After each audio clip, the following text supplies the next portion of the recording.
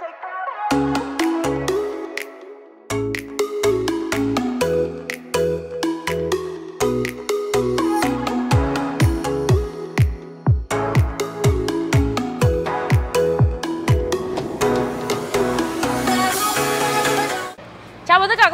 với Maldives Đây là lần thứ hai mình đến Maldives nha mọi người. Lần trước thì mình rất là tiếc vì được ở cái Jolie Being là một cái resort luxury ở bên này. Nhưng mà bị mất thẻ nhớ cho nên không quay lại được cái quá trình đi, Chỉ có một vài khung quay thôi. Lần này thì mình được đến uh, resort The Meridian, Cũng là một resort 5 sao cho mọi người Và mình sẽ chia sẻ cho mọi người biết trải nghiệm của mình khi đến Maldives nha. Khi bước xuống sân bay Malé thì điều đầu tiên là mình ấn tượng Đó chính là ở đây có cái màu nước biển nó rất là lạ nha mọi người ơi, màu xanh ngọc bích nha. Nếu như mọi người nhìn ở ngoài thì mọi người sẽ thấy rằng là nó còn đẹp hơn, thực sự là đẹp hơn trên hình rất là nhiều. Và ở Maldives thì có rất nhiều các resort khác nhau, bởi vì cứ mỗi hòn đảo thì sẽ là một cái resort khác nhau nha. Và ngay bây giờ mời mọi người cùng theo chân mình đến resort Le Meridian để biết rằng resort đó có gì. Và ở Maldives có gì đặc biệt mà được gọi là thiên đường của những thiên đường nha.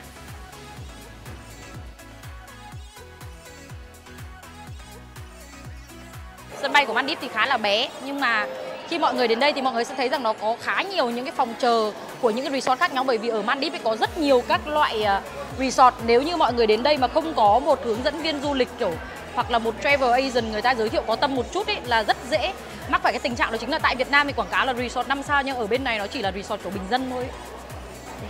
Trans Maldivian Airways là một cái hãng chuyên bay thủy phi cơ ở ờ, Mandip Maldives cho mọi người. Đến Maldives thì mọi người sẽ có hai lựa chọn. Nếu như mà đối với những resort gần ấy thì chúng ta sẽ đi tàu, nhưng đối với những cái resort xa chúng ta sẽ đi thủy phi cơ nha.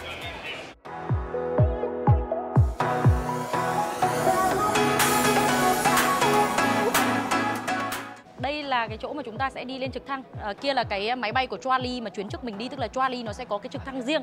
Còn đây là bọn mình sẽ đi cái trực thăng chung và ba cái resort cạnh nhau là GY Marriott này Fairmont với cả là Le Meridian sẽ đi chung một chuyến nha mọi người mời mọi người lên trực thăng. Hôm nay hướng dẫn viên du lịch của bọn mình vẫn như năm ngoái sẽ là chị Nhung Mi Maldives nha mọi người ơi. Ai mà có nhu cầu đi Maldives thì đây đây là một travel agent cực kỳ có tâm nha. Lên máy bay thôi.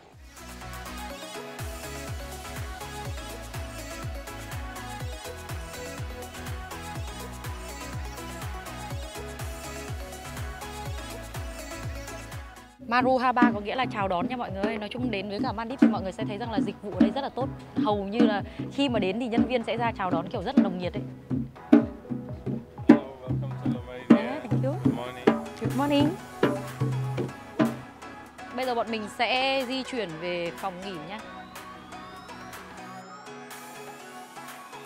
Bây giờ thì resort người ta sẽ đưa bọn mình đi à, tham quan một vòng và giới thiệu là trong resort sẽ có cái gì nha mọi người Resort này thì được à, đưa vào hoạt động từ tháng 9 năm 2021 rất là mới nha Và có vẻ như là một trong những cái resort cực kỳ rộng ở Maldives Bọn mình đi tổng cộng là 5 người thì đây là phòng 311 nha Bây giờ bọn mình sẽ đến phòng 33 Đây là Villa Sunset hướng mặt trời lặn đúng không chị Nhung? Đúng rồi.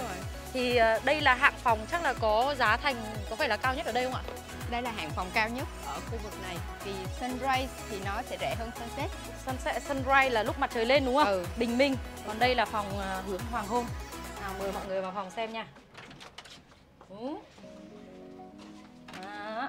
Nhìn một cái là ra biển luôn nha mọi người ơi. Mình là người đã đến Maldives đây là lần thứ hai nha mọi người. Chị Nhung là đến Maldives lần thứ mấy? Chị ở đây từ năm bao nhiêu? 2010 tới giờ.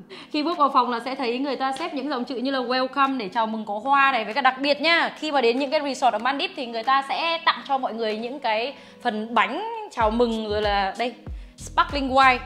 Đó à, và theo như chị Nhung thì chị Nhung thấy resort này so với cả Jollibee thì như nào? Jollibee thì nó ở phân khúc gọi là phân khúc uh, luxury cao cấp hơn Giá nó cũng cao hơn Còn cái này là 5 sao, 5 sao gọi là 5 sao tiêu chuẩn Tại vì tập đoàn của Le Méridien này thì uh, ở Việt Nam mình cũng có một cái ở Sài Gòn Và hầu như thì nó cũng có khá nhiều nước trên thế giới Nếu như mà xét về giá ấy, thì ở đây sẽ rẻ hơn so với cả Jollibee rất là nhiều. Jollibee bọn mình đi là 8.000 đô cho 4 ngày 3 đêm. Cái đó là bao gồm bữa sáng và bữa tối thì tính nha. Nói chung là tính ra thì cỡ khoảng tầm bao nhiêu ừ, chưa bao gồm vé máy bay chị? Chưa bao gồm vé máy bay thì cỡ tầm 180, 190 Đó, rất là đắt nhà Jollibee Being bọn mình đã đi rồi thì nếu như mà mọi người nhìn thấy cái phòng của Jollibee Being là mọi người sẽ thấy kiểu choáng ngợp bởi vì nó quá là đẹp. Nhìn trên ảnh ý nó đẹp 10 thì ở ngoài nó phải đẹp cỡ 12 13 nha mọi người thiết kế cực kỳ đẹp với trần cao. Nếu như để nói về đẹp thì Jolie Being nó phải đẹp hơn ở đây rất là nhiều nhưng mà ở đây thì giá thành rẻ hơn rất là nhiều đúng không chị Nhung? Đúng rồi. Ở Việt Nam khi mà nghĩ đi Maldives là rất là đắt. Ví dụ như là cái resort này mỗi một pack đi mỗi một người đi sẽ khoảng tầm bao nhiêu chưa bao gồm vé máy bay cái này là chưa bao gồm vé máy bay thì mỗi người sẽ có hai gói ăn. Nếu mà gói ăn hai bữa sáng với tối thì sẽ từ um, 2.900 cho tới 3.300 cho hai người. Nhưng mà nếu mà như thế tính ra tiền Việt là khoảng tầm bao nhiêu ạ? Tính ra tiền Việt thì khoảng tầm cỡ 7 80 Đó là hạng phòng Sunrise Còn nếu Sunset thì nó sẽ cao hơn Từ 4.000 4.000 rưỡi. Như hạng phòng mình ở là à, ăn 3 bữa Rồi à, hướng thì là hướng Sunset. Đúng rồi. Thì à, là 4.000 rưỡi hai người. Đã bao gồm luôn là cả thủy phi cơ đi lại nè rồi các loại thuế ở đây tại nhưng mà chưa bao gồm vé máy bay đúng không? Đúng rồi thuế Maldives là cao. Còn vé máy bay thì tùy mọi người. Mọi người muốn bay nếu muốn qua cảnh ở Singapore thì có thể lựa các hãng Singapore Airlines thì giá bây giờ cao. là 20 20 từ 20 tới 27 triệu một người hai chiều. Còn nếu bay của Air Asia thì nó rẻ hơn à, tùy là đi từ Hà Nội hay Sài Gòn. Nếu mà đi từ Sài Gòn thì tầm 13 14 triệu. Còn Hà Nội thì cao hơn một chút. 16 17 16 triệu. 17 triệu chưa bao gồm hành lý. Nhưng mà theo cá nhân mình nghĩ rằng là nếu như mọi người mà thích kiểu cao cấp thì nên bay từ Singapore. Và nếu như có chuyến Qatar ấy là đi à. đi Qatar là hợp lý. Tại vì bay Boeing còn nếu như bay Air Asia hãng của Malaysia ấy, thì sẽ bay Airbus A320 nha mọi người ok bây giờ đi vào phòng tắm thôi. Nào mình xem có cái gì khác nha phòng ở ấy thì nó sẽ tổng cộng là có hai gian khác với cả Jolie Being đúng không chị Nhung? Đúng bên rồi. Jolie Being là có tổng cộng là ba gian nha mọi người. đó nhưng mà ở đây thì nó có một cái mình cảm thấy rất là đẹp đó chính là cái phòng tắm ở đây. Đây mọi người có thể thấy này. Đó khi mà chúng ta tắm ở đây là sẽ nhìn ngắm được cảnh luôn. Bên Jolie Being cũng như thế nhưng mà nhìn ở đây có vẻ nó thoáng. Nhưng mà bên Jolie Being là rộng hơn biệt thự rộng hơn ở đây nha. Và cách thiết kế của Jolie Being thì nếu như mọi người mà nhìn ở ngoài mình khẳng định là nó siêu đẹp luôn. Đối với những bạn nào mà có kinh tế các bạn đến Jolie Being mình nghĩ rằng là cả đời không bao giờ quên luôn.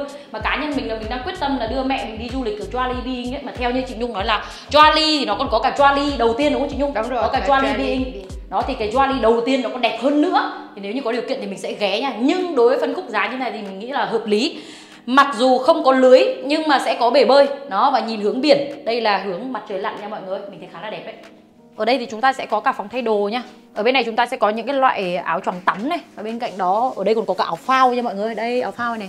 Nếu như mà chúng ta muốn xuống biển luôn, bởi vì là ở cái biệt thự của bọn mình, villa của bọn mình là biệt thự trên biển mà, cho nên chúng ta chỉ cần đi cầu thang xuống là tắm biển được luôn nha mọi người. Đặc điểm ở biển Maldives đó chính là cái màu nước nó sẽ xanh, kiểu xanh ngất mượt mượt như thế này luôn nha mọi người nhưng mà ở Joali thì nó sẽ một cái màu xanh ngọc bích còn ở đây nó sẽ kiểu một cái màu xanh nhạt và đặc điểm nhá, biển ở Maldives đó chính là nó rất là trong. Nó trong mà chúng ta có thể nhìn thấy đáy nhá, với mức giá rẻ hơn một nửa. Ở Le Meridian này thì chúng ta sẽ có một cái bể bơi nhỏ hơn so với ở Jollibee và chúng ta sẽ không có lưới nhá. Ngoài trời sẽ có hai cái ghế để chúng ta nằm và ngắm biển như thế này. Nói chung với mức giá như thế này là mình thấy hợp lý nhưng mình không thể nào mà so sánh với cả Jollibee được. Còn nếu như chúng ta muốn đi du lịch ở Maldives nhưng mà với cái kinh tế nó dễ chịu hơn một chút thì mình nghĩ rằng nên lựa chọn những cái resort vẫn là tiêu chuẩn 5 sao. Nhưng nó không phải là luxury như thế này. Vẫn có thủy phi cơ đi đi đi về nha. Vẫn có biệt thự villa trên biển. Và bên cạnh đó vẫn có phòng hướng hoàng hôn sunset nha mọi người rót rượu rồi mọi người cầm ly đi. À đây đều đủ 18 tuổi cả nha mọi người Mình đã 31, chị Nhung gần vào 40 chưa? 40 rồi. 40 này, đây 32 này. Khoảng bao nhiêu? 23 18 99 mà. Nào chia Chúc mừng chuyến du lịch của chúng ta. Đây là bọn mình đang đi trải nghiệm nha mọi người Nếu như mà trải nghiệm cái resort nào đẹp hơn nữa thì mình sẽ giới thiệu với cả mọi người. 80 triệu cho một người thì chuyến đi này là giá trị lên đến bao nhiêu? 5 người tổng cộng. 400 triệu. Uhm. Cảm giác khi mà đến Joali vẫn như ngày đầu tiên Nếu như mà em có điều kiện thì mỗi năm em sẽ đến ờ, Maldives một lần Nhưng không biết là em có tiền để thực hiện ước mơ đó hay không. Được mà. Nhưng mà khi đến đây thì có một cái mà mình thấy rằng là cái Le Maridon này nó sẽ hơn Joali Đó chính là cái bữa ăn. Ba bữa nhưng mà giá thành lại thấp hơn. Nhưng mà bên Joali là chỉ có hai bữa Nhưng mà mình đã ở Joali rồi thì một cái điều mà mình làm mình khổ tâm nhất ấy Đó chính là bên Joali ăn à la carte mà sáng nào ừ, sáng nào cũng món như thế có mỗi ba bốn sự lựa chọn thôi mọi người kể cả bữa tối cũng như thế ăn chán đến mức mà bọn mình đi sang đây phải mang rất nhiều mì tôm nhưng ngày về là không còn bất cứ một hộp nào. Trong tất cả những cái resort mà chị đang đi ở Maldives thì chị thấy cái nào đẹp nhất? Nếu mà nói là đẹp nhất của Maldives thật ra là rất là khó so sánh. Ví dụ như em tùy theo gu đúng không? Đúng rồi. Soneva mọi người thường hay nói Soneva là đẹp nhất của Maldives nhưng mà tùy một số khách họ không lại không đi Soneva họ lại chọn giống như World Rock Astonia hay là San Regis hay một số thì họ sẽ chọn giống như Trali tại vì cái phòng của nó đẹp hơn. Còn ai mà thiên về kiểu giống như là muốn máng trượt này nọ thì đi Soneva tại Việt Nam nha cứ các bạn uh, travel agent ấy bạn cứ nói rằng là cái resort này nào ở bên này cũng là 5 sao 5 sao luxury các thứ. Nhưng mà thực tế khi mà đi sang bên này thì cái chất lượng của nó không được như kỳ vọng đúng không? Nó sẽ có như chị nói là nó sẽ có ba phân khúc năm sao. Những cái phân, phân khúc năm sao của những cái uh, resort top bên này thì như là Soneva Chani, Soneva Fuji, Jolly, Jolly Bean. Theo như chị bán hay là chị tư vấn cho khách thì chị hay chú trọng vào những resort mới mới mở. Mới mở sau này thì đương nhiên cái thiết kế nó vẫn đẹp hơn em sẽ thấy hiện đại hơn ừ. so với là những cái mái lá dừa như những resort cũ. Nhưng mà ừ. chị chị có biết là rằng là ở Maldives thì có tổng cộng là bao nhiêu cái resort khác nhau? Hiện tại ở Maldives hiện tại tới thời điểm này á, là có hơn 200 hơn 200 hơn cái resort. 200 resort Hy vọng là từ giờ đến uh, khi mà em già thì em sẽ đi hết được cỡ khoảng tầm 100 cái resort nha. Với sự hỗ trợ của chị Nhung, Travel Agent cực kỳ có tâm. NN Travel đúng không? Cảm ơn. Không được một đồng booking VR nào đâu nha mọi người ơi. Đây là cái nhà hàng để ăn trưa nha mọi người ơi. Nhưng mà ở đây thì sẽ có tổng cộng là 6 nhà hàng và có cả quán bar nữa. Nếu như mà mọi người muốn ăn đồ Nhật thì đây cũng có cái nhà hàng riêng nha. Nói chung về món ăn ở cái chỗ resort này thì mình thấy rằng khá là đa dạng. Và ở riêng cái nhà hàng này ấy, thì mình thấy rằng là có một cái bể bơi rất là rộng nha có thể vừa ăn vừa ngắm cảnh biển và mình nghĩ rằng mình sẽ ra đi bơi vì cái hồ bơi ở chỗ phòng bọn mình nó quá là bé hoặc là tắm biển cũng được nha mọi người ơi.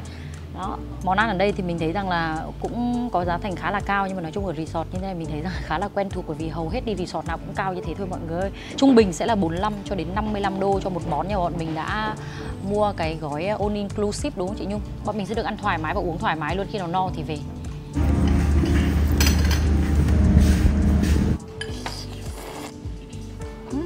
Cái mì sốt kem này siêu ngon. Cái vị mặn nó rất là vừa mà béo. Ăn dễ ăn được duyên.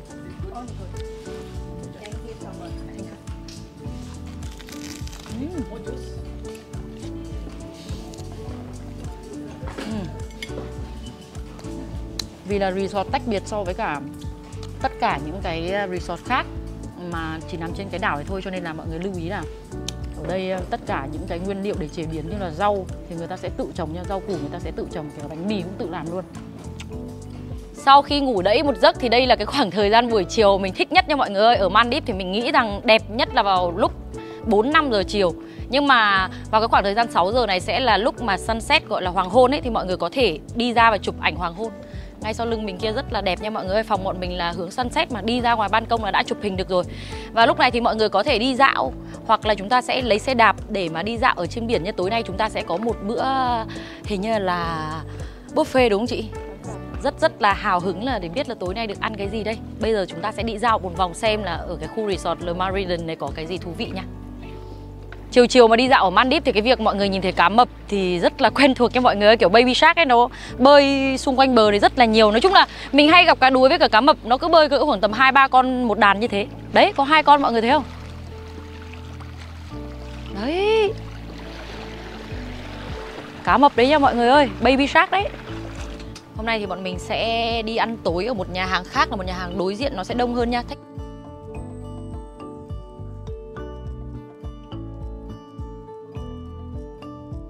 Đầu tiên người ta sẽ đưa ra cho mình một ít bánh mì nha mọi người, và sẽ ăn cùng với cả là nấm truffle nghiền với súp lơ trắng. Mình thử xem sao nha.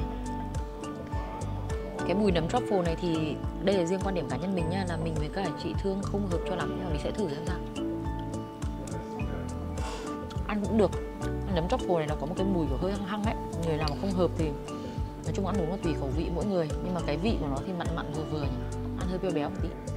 Mình thấy khá là ngon, nhưng mà ai quen được cái mùi hăng ăn được nhé đây là một cái đồ uống mà chị nhung đã gọi riêng cho mình nha mọi người ơi nước thơm malibu à.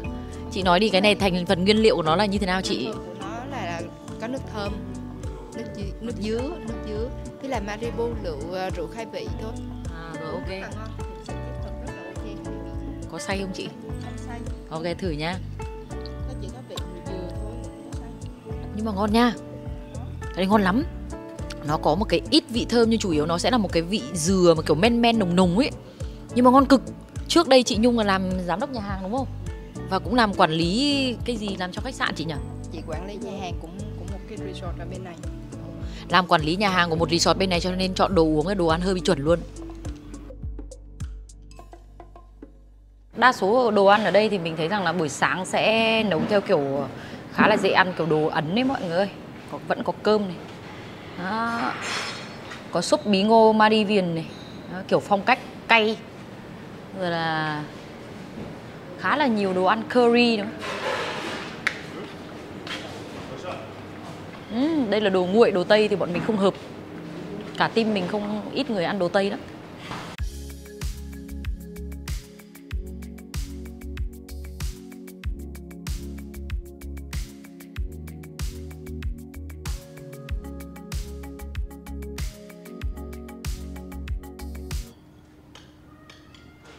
Thử nha mọi người ơi. Nói chung đồ ăn bên này mình cảm giác như kiểu ờ, đi sang đây mọi người nên mang nhiều nhiều các cái loại mì tôm, đồ khô các thứ, bởi vì là ăn thì lạ, nhưng mà ăn đến bữa thứ hai là cũng bắt đầu hơi hơi chán chán đấy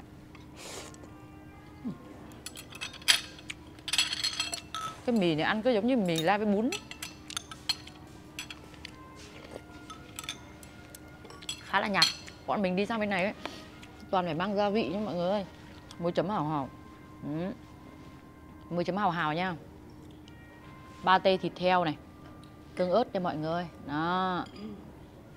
Đi sang bên này đây là những thứ mà mình nghĩ rằng cực kỳ cực kỳ cần thiết nha Khoảng thời gian đẹp nhất trong ngày để chúng ta có thể đạp xe đi dạo ở Maldives là khoảng tầm 8 9 giờ sáng và buổi chiều 4 rưỡi đến 5 giờ chiều nha mọi người ơi. Nếu như mà chúng ta đi sớm hơn thì thời tiết ở đây thực sự rất là nắng và có thể là chúng ta sẽ bị cháy ra đấy. Và ở cái resort bọn mình đang ở đây là Le Maridon ấy thì có đặc điểm đó chính là có những cái cồn cắt nổi và ở những cái cồn cắt nổi này thì nếu như mọi người mặc bikini ra nằm sóng xoài để chụp ảnh ấy thì thực sự rất rất là đẹp nha. Đến Maldives thì chúng ta sẽ rơi vào một cái biển tình màu xanh mướt mát, xanh ngọc như thế này nha mọi người ơi và villa ở phía đằng sau, nhìn cũng rất là nên thơ, mọi người hoàn toàn có thể check in ở đây.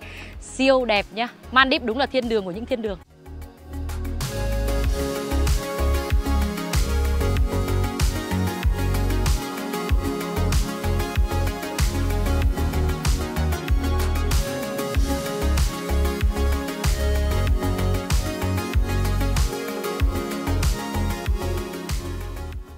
Cháy hơn cả con tôm luộc luôn nha mọi người. Đứng ra ngoài nắng để chụp ảnh với cả quay phim. Nói thật với mọi người chứ đến Madrid thật sự ngay lúc này mình thèm một cốc mì tôm đây mọi người ơi. Đấy là lý do vì sao mà mình nói mọi người sang Madrid ấy, là cứ phải mang mì tôm đồ khô với các loại đồ hộp đi. Vì đôi khi mình sẽ rất là thèm nhưng mà ngay trong resort ấy không thể nào bơi về bờ mua mà ăn được nha mọi người cô lập giữa đảo nên mọi người phải chuẩn bị nha. Mời mọi người nha.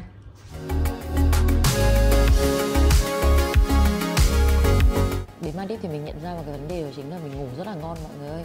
Mặc kệ mọi người ra ngoài bơi thì mình đã ngủ một phát từ chiều cho đến tối dậy đi ăn tối luôn.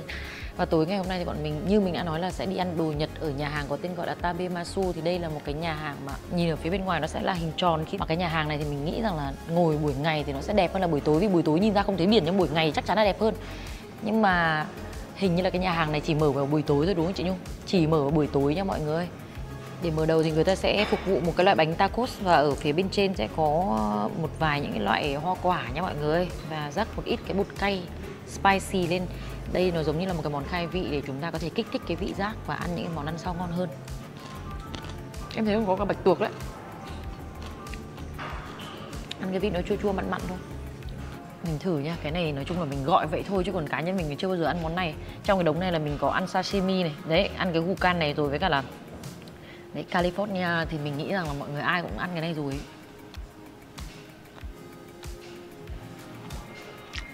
Ui Chị Nhung ơi Cái này siêu ngon luôn. Em không biết nó là cái gì luôn ấy. Tuna. Tuna. Cá ngừ Mà nó nướng ở phía bên ngoài xong rồi nó làm cùng với cả cái sốt. Ăn ngon cực kỳ. Khi mà đến uh, Maldives thì mọi người sẽ nghĩ rằng khi đi biển ấy là sẽ nghĩ rằng đến đây để ăn hải sản. Nhưng mà thực tế cái menu chính ở các cái nhà hàng resort ở Maldives không phải là hải sản. Khi mọi người đi ở Việt Nam, mọi người sẽ nghĩ rằng ờ đi biển là phải ăn kiểu dạng như hàu, nướng các thứ rồi tôm, cua nhưng sao bên này. Người ta vẫn ăn kiểu đồ tây bình thường nha mọi người bởi vì là hải sản bên này sẽ phải thông qua một cái quy trình nhập khẩu khá là chặt chẽ chứ người ta không phải kiểu đánh bắt lên xong rồi chế biến luôn để ăn. Quả quả, quá ngu, hấp dẫn thật sự luôn.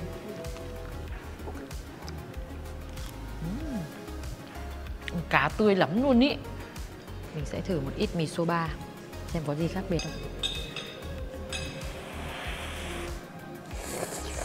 uhm.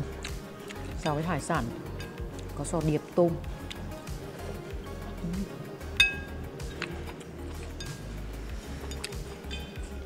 có vẻ như là cái mì bò hợp khẩu vị mình hơn mì số 3 này cũng được đến Mandip Maldives thì mọi người có thể trải nghiệm các dịch vụ spa là massage nha mọi người, nhưng mà giá thành khá là cao đấy 180 đô cho 60 phút, cái này nó sẽ tùy có những cái dịch vụ sẽ cao hơn còn tầm 400 đô nha mọi người cái này chưa bao gồm thuế nha, bởi vì thuế Maldives khá là cao, hai mươi mấy phần trăm thuế đấy. Và khi bọn mình đến đây khá là bất ngờ, có chị nhân viên đây, người Việt bọn mình vào nói chuyện tiếng Việt, xong mình nói, ơ, sao chị này nhìn giống người Việt thế? Xong chị mới nói, chào chị, em là người Việt mà, xong chị biết mình nha mọi người ơi.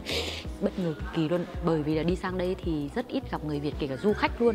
Thì số lượng du khách Việt hàng năm sang đây mình nghĩ rằng không nhiều, cho nên là hầu hết sẽ gặp khách du lịch châu Âu, châu Mỹ nha mọi người bây giờ mình sẽ thử trải nghiệm dịch vụ massage tại spa Explorer Spa by the Meridian xem như thế nào nhé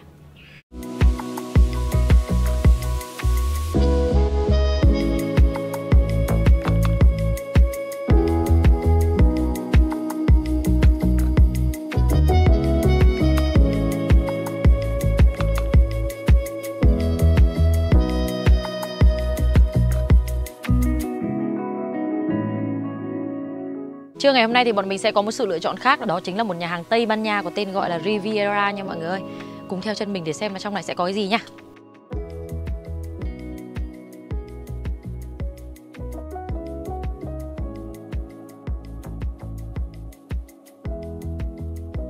Bây giờ mình sẽ thử đồ uống nha mọi người ơi.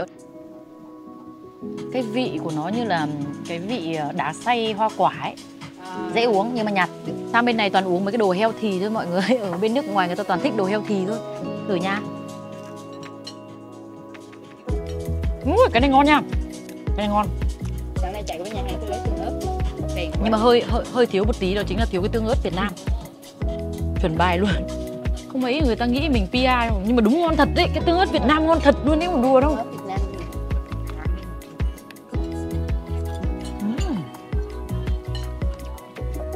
dễ ăn. Dễ ăn. Thử nha. Uhm, ngon nha. Bây giờ mình sẽ thử ờ, sườn cừu đúng không chị?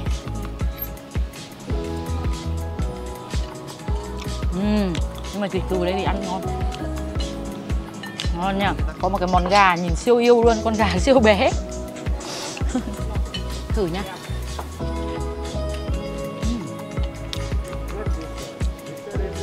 Bên này kiểu gà công nghiệp.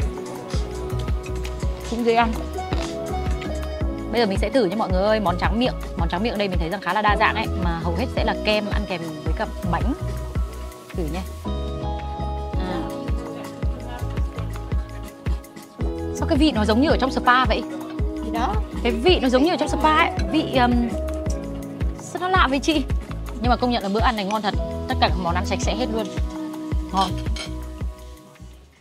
Đến ban Bandip thì cái bộ môn mà chắc chắn là nhiều người rất yêu thích đó chính là lặn biển nha mọi người ơi. Nhưng mà ngày hôm nay thì tàu đã đi ra để ngắm cá heo từ lúc 3 giờ kém 15 rồi, bọn mình không thể đi tàu được. Cho nên bọn mình sẽ bơi xung quanh cái chỗ ờ, villa của bọn mình nha. Còn tất cả những cái đồ như là chân vịt với cả là ống thở với cả kính lặn này thì đều được free hết. Mọi người chỉ cần đến cái chỗ mà người ta cho thuê ấy, thì mọi người sẽ được lấy cái cái ờ, những cái đồ này nha. Nhưng mà chiều nay bọn mình sẽ chạy ờ, uh, Yeskin là cái xe máy nước ấy thì cái đấy sẽ là 300 đô cho một giờ hoặc là 170 đô cho 30 phút nha. Cái đấy thì tùy mọi người lựa chọn. Còn ở đây thì trèo kayak, trèo súp thì sẽ là free nha.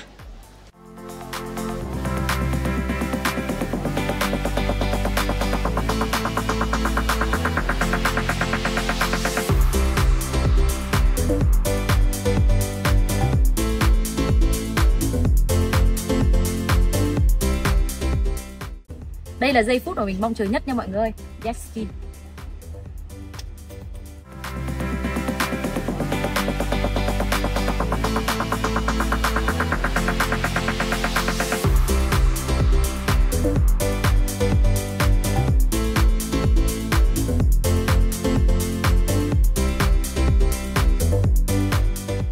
Ngày cuối cùng ở Maldives thì cũng như năm ngoái, Mình ước rằng là mình sẽ được ở lại lâu hơn 4 ngày trôi qua cực kỳ nhanh mình mong ước là mỗi năm được đến Maldives một lần vì thực sự là biển ở đây quá đẹp nha mọi người ơi. Thật sự là cứ mỗi lần mình đến Maldives khi mà bước xuống sân bay Malé và mình thấy xung quanh là một biển nước màu xanh ngọc như này mình nghĩ rằng chắc chắn đây là thiên đường rồi nha mọi người ơi. Mình sẽ cố gắng làm việc để mỗi năm có thể đến Maldives một lần. Và trong dự định tương lai thì mình mong muốn là đưa mẹ đến đây bởi vì là trong cái đợt ừ, vừa rồi ấy, trong hai cái chuyến du lịch ở Maldives ấy, thì mẹ mình đều than rằng là đau lưng không thể nào mà có cái chuyến bay kéo dài 7 tiếng được cả. Đấy cho nên là mình rất là tiếc nha Nhưng mà mình sẽ cố gắng trong năm nay hoặc trong năm sau Sẽ đưa mẹ đến Maldives và trải nghiệm à, những cái resort mới nha. Và mình sẽ hẹn gặp lại tất cả mọi người những video tiếp theo. Nếu như mọi người thích video này, thích hành trình của mình Thì đừng quên để lại cho mình một lượt like và subscribe. Đừng quên nhấn vào nút chuông để nếu như mình có video mới Thì mọi người là những người đầu tiên gặp mình nha. Và chắc chắn là mình sẽ trở lại trong những video tiếp theo. Hẹn gặp lại tất cả mọi người. Bye!